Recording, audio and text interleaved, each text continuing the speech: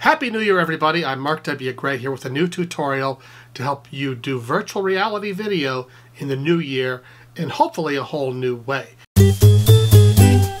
Now, 360 video is not new. It's been around for a couple of years. But now there's a lot of cameras that can do it in 4K, which is really a good idea. Now, the problem I've always had with 360 video is it's cool to put on the goggles and look around, but then to have to get up and turn around and look behind you to see the whole story is kind of annoying. And it's a lot more production work to do the whole back of the video. So what I'm favoring now is 180 VR, where you get a 180 degree field of view and you don't worry about what's behind. You can put the crew back there and you still get a real immersive experience for the viewer, but keeping them facing the direction you want them to face, which is one step closer to actual storytelling filmmaking.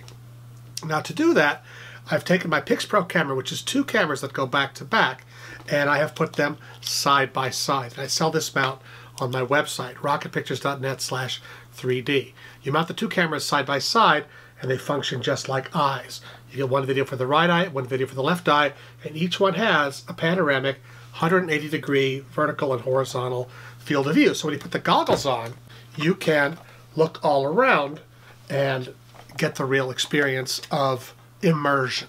Now, if you want to do full 360 in 3D, you've got to use a different kind of camera because your two eyes, you need a camera for each eye at each point on the compass.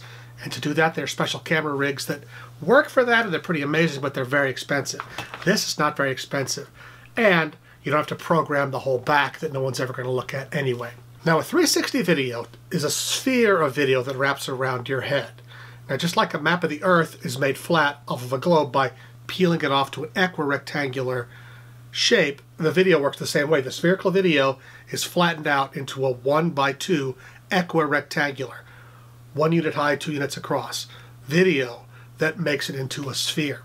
Now, uh, if you wanted 3D, normally you had to have one of those for the left eye and one of them for the right eye. That's what's called top-bottom 3D. That's what you're going to find on YouTube.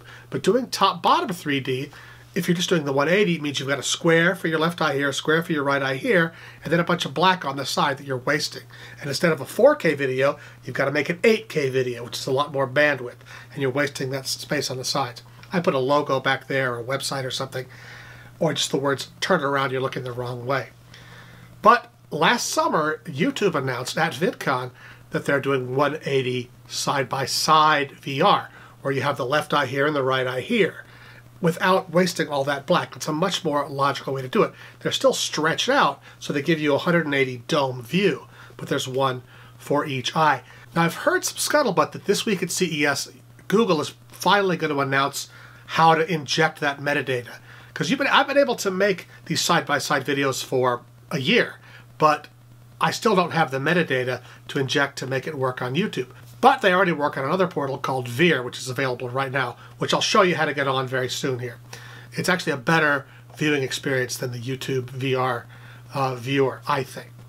Anyway, let's get down to business. I'll show you how, once you shoot like this, you can get your VR into this side-by-side -side format at half the bandwidth and a lot fewer steps than doing it the old way. I'll show you how that works in a second. I already shot a bunch of footage at the IMAX VR Center down by Farmers Market in Los Angeles, and I've already downloaded it to the computer, and I'll now show you how to sync it all up. Okay, on each microSD card, there's a folder that has a number of the camera. This one's 101M28R3. Now I've got two folders here with the same name. That's because at the moment, these two cameras have the same identity, 101M. That's because the uh, batteries died and the even the internal sort of backup battery in the cameras died over a long period of time. So they lost track of the time in the calendar. So I had to set the time before I started shooting. Every time you take the card out of the camera, blank it out and stick it back in, it changes the number. So the next time you roll, it'll be 102. I've actually done that on just one of those now. So next time, it'll be 102 and 103, which makes it easier to tell left from right. But right now, they both say 101. And then all the files also are called 101, and they're numbered 1, 2, 3, 4. Now because I could take a look at it, and I could see the left side, there's the lens, okay? That means this is the right eye. And over here, the corresponding shot from the other camera, that's the left eye because it has the camera on the right, you see? Now, one thing I like to do just right away is I take all the right eyes and I tag them red, right eye red. That's just my personal code. Then I take all the left eyes and I call them left eye blue, just because red blue is sort of the traditional uh, 3D glasses color from the 50s. Now these, now if I were to take all of these and put them in the same folder, they would all have the same names. It'd be a problem. So, but I could rename them. Like I can take all of these. There's a great function here. I could hold down the control key and click, or basically right click, and I get this menu. And I can rename all these items. These are the these are the left eye. Then I'm going to add an L. I could add it at the beginning, but I think I'm going to add it at the at the end because I want them all to stay in alphabetical order just by their number. So if I rename, then I have 101, number 1L, 2L, 3L, 4L, like that. I can do the same thing for the right eye. Again, control click or right click, rename, and I'm going to add a letter R after the name of each file. Okay. Now I can take all of the files and dump them into the same folder. And they automatically sort themselves out. So shot one is together, shot two is together, shot three, so there's shot four. See, that's the left eye, and shot five is the right eye. See, they're almost identical except the lens is on one side or the other. So now I have these pairs, and I want to stitch the pairs together.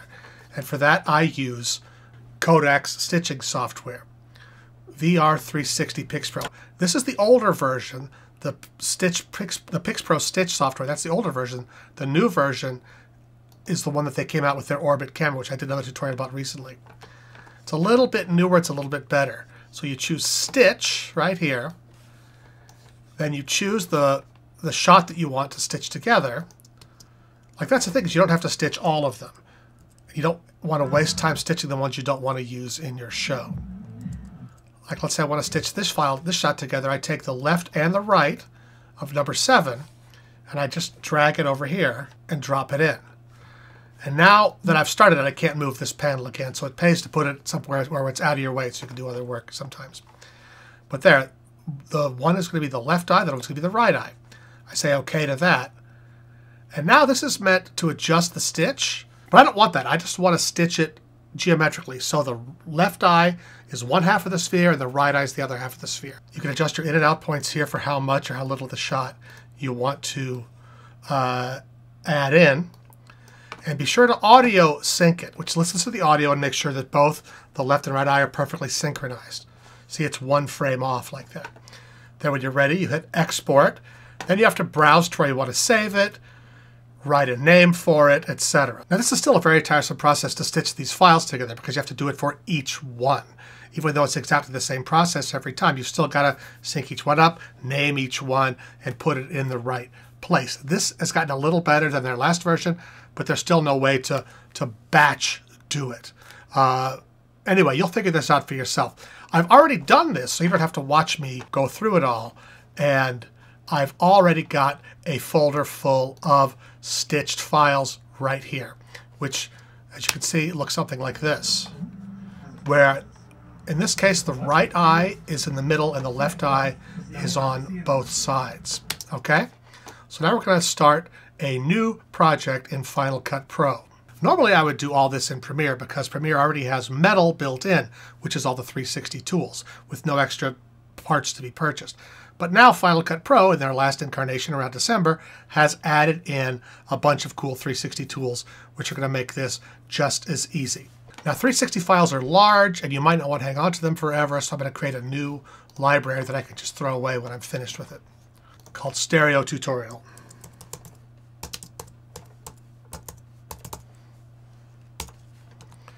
Cap lock wasn't totally necessary. And then I can import the media. Stereo tutorial, stitched files, and there they all are. And you can preview them. So I'll select them all and import them. Okay, now I want to make a new timeline, just like you normally would, Apple N for a new timeline. So what am I going to call this on YouTube? This is just me and the kids going to the IMAX VR uh, facility. Let's call it IMAX VR. That's kind of a clickbaity title. And then I can take my files and just drop them right in. There's one of me. Hi, welcome to 3D Stereo Photography. That's pretty good. So we'll drop that one in, just the letter E. And I see it's all it's automatically formatted this show into the right shape, which is 3840 by 1920. And it's a 360 video, okay? So it's set up to be a 360 video looking all the way around. So then I have that shot. I want to add another shot. And again, I can just set my in points wherever I want. Anyway, then you go on and you edit your entire project, adding in all the shots that you want. This is us walking down the street. And you can just watch it as you normally would. Huh? Now, if I were to put this on now, I could export this and put it uh, directly onto um, Veer or onto YouTube, and it would work. It would give me a sphere, but it would be the same shot on the front and the back, just different by you know, 30, 53 millimeters. But I want to do a side-by-side -side shot. So what I want to do is adjust it. And there's a certain set of tools that are right here under the 360 panel. And basically, we want to move it around. You've got a patch where you can move things to cover up, uh, which is very handy. You can blur the whole thing in 360 in a way that wraps around so it looks nice even on the seam. These are all the effects, aura, sharpen, all that jazz. But those are what we need. What we need is the normal uh, reorient, which is up here. Just like you can uh, move stuff around X, Y, Z, it's called reorient here. So if we want to uh, tilt, we could tilt the circle around like that. If you want to pan, we can move it around like that. But basically, we want to keep it square, and we just want to pan around like that. But we want, see, this is the right eye, so we want the right eye to go to the right. So we want it to go this way. And what we want is minus 90 degrees, just like this, minus 90. We could say 270 and do the same thing. But now, this is the right eye, and this is the left eye. Right eye, left eye. We put that in a side-by-side -side view situation, and we'll get a virtual reality model. In fact, I will export this so, and put a link below so you can then see it on your phone and look at it in, in 180 VR. Very simple. Now, I've done that effect there, and it's got to render it, that offset. I could do it again here, same deal. Just go into pan Y and say minus 90 degrees. And again, I got the right eye there and the left eye there, so both lenses sort of in the middle. You can kind of see that if I zoom way in. There's both lenses in, in the middle there. This is a 4K view, so it's very sharp. There's a lot of pixels in there. But my computer, my six-year-old computer, can still handle this, though the fans are starting to blow. It's starting to really think about things. Now, a neat trick you can do is you can just copy, like this, Apple C, Command C, and select all of the other clips, and then do Shift Command V, and you can paste the attributes. What I do is paste the 360 transform in there. So now all of these look right, and the left and right are separated just like that. Okay? Perfecto. Now, we want to export that. We send a compressor. I have Apple E for Command E to go send a compressor, which I like to use. Now 4K is not exactly right. We want 360 you hold on the control key and click it and you can duplicate and make another one which then you which you can then edit. So I've got 4K VR which I've already set up here. The custom frame size I've done, I need an equirectangular 2x1, 3840 by 1920. That's the full width of 4K and 1920 pixels high. And default pixel aspect for frame size. Frame rate's automatic, color space is automatic. The 360 metadata is spherical, okay? Because they do not yet have the side-by-side, -side, but soon they will. And again, I'll show you how to fix that on Veer in a moment. Once that's all done, now I've got to actually select the codec that I want and place it on there. It'll go back to the source, like the videos uh, folder, which always drives me crazy. I like to have a special destination where I know where it's going to go. Then once that's done, you just hit start batch and you're off to the races. And that could take an hour or more to do that three minute video because it it's 4K and it's an old, old, old computer. But before we export, I want to show you another couple of cool things that this new Apple software can do. Like it has 360 text. If I want to put like a lower third, like my name under here, I can just go over here to the titles. And I can choose titles and right there 3D 360 custom 3D so I can just take that and drag it in. So right there I want my name to appear Mark W. Gray right below. So I select that and over here in the text tool I can type what I want. Just like that and I can make it you know any font that I want let's try American Captain that's a cool font excellent and I can make it bigger, smaller, or whatever. Now it's right in the middle, that's where it defaults, but I can adjust it, okay? I can, besides like rotating it, and making it 3D like that, and I can animate that, which I'm not really going to do, I just want it to sort of appear. But I want it to appear below me. So I'll drag it down a little bit like that. So people can have to look down and they'll see Mark Gray below me. But again, this is set up for just normal 360, but I've got to trick it into giving it me the thing for both eyes. So I'm going to use, instead of these rotational things here, actually we'll just put those all back to zero. I'm going to go to the whole frame. It'll take the whole flat frame where that's in the middle and it'll rotate that around the shape just how I want it. So first I want to pan it around to be by me, so I'll say negative 90. So I'll get 90 degrees over there so it's on me. And then I will roll it down below, just like that. Now, when you're watching this, you can look down and it'll be right in front of you, in front of me. Now, but the thing is, you're only going to get that in your right eye right now. I want that in your left eye. So I'm going to hold the Option key and make a copy. So that copy, I want to go into the left eye. So I'll make it plus 90 degrees. So it's over there, but it's up, so then I've got to go positive 30.3 to match it the same way. You see? Now, here's the thing, though. Those are both dead center 90 degrees, okay, for each eye. Now, if something's closer, it should look farther to the right in the left eye and farther to the left in the right eye. So you see when I pick up this cup of coffee, that's the furthest forward thing. I want it to be ahead of that.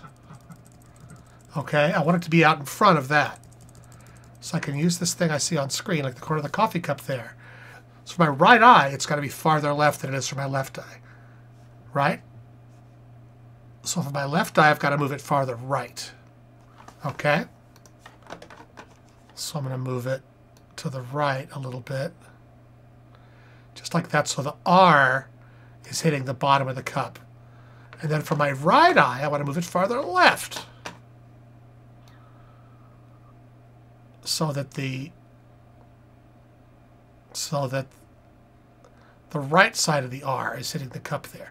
That way it's just a little bit closer to me than that cup. So I think if I do this properly, it'll end up three-dimensionally closer to me than where the cup is there. I'll be very impressed to see if this works. I'm very excited. I think it'll be really fun. Then I'll put a little Command T to make it fade in and fade out there. Just so they appear and go away. There are a lot of cool 360 tools to play with on here. I'm just beginning to figure them out for myself.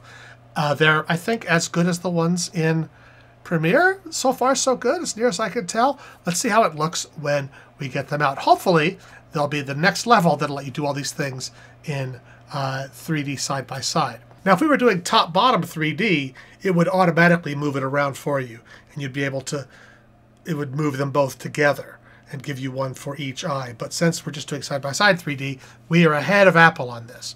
So let's just see how it turns out. Anyway, now to export. All right, exporting is taking a little while, but I want to go ahead and show you about how Veer works. Basically, you go to Veer, which is this great website that's just all about VR. Get yourself an account and click Upload, okay? And then you just choose the file you want to upload. It's really as simple as that. And then once you've uploaded it, this is the key. This is what makes it cool. Is you get a control panel that looks like this. This is a test I uploaded the other day. Uh, you can write the name, you can write a description, but you can also do the format. Like 360 by 180 is normal equirectangular 360, but 180 by 180 is just this, what we're talking about here, the front-facing panorama. Then you can choose 2D, 3D top bottom, like you would if you're doing the old-fashioned kind, or 3D side to side. You choose that, and there's no extra codec or metadata to inject. It just works perfectly on Veer, which is V-E-E-R dot TV, not dot .com. That's a Chinese website. This is also a Chinese website, but they're it's all in English and, they, and they're very nice. And I think this is really the one that's going to stick around. And hopefully YouTube will get some ideas from this where you can just say, oh, it's side by side. Boom. Uh, now, very soon, hopefully, there'll be a codec that you can inject or a, a, metadata that you can inject using Spatial Metadata Injector. Just Google that, Spatial Metadata Injector. That's what exists now to inject that 360 metadata into your rectangular file so YouTube knows what to do with it. They still don't know what to do with the side-by-side -side file, and they refuse to tell me uh, what to inject. But until then, just do it on Veer. And when uh, YouTube comes out with an update, maybe this week after CES, I will let you know. All right, check the description for a link to my Veer channel where you can watch the video that we just did, or just look for MW Gray, same as the name of this YouTube channel, on Veer, and you will find me there. Okay, thanks a lot. Be sure to ask questions and share this and do all the social stuff you're supposed to do, like, subscribe, and all that jazz. And if you really want a hub to find all of my 3D VR stuff, all of my 360 VR stuff, all the parts that I sell, including this incredibly bitchin' lens cap holder that's magnetic and comes in two pieces, just go to rocketpictures.net slash 3D and there are links to all my videos there and uh, my store where you can buy all this stuff. All right. Happy New Year. I'll see you at CES.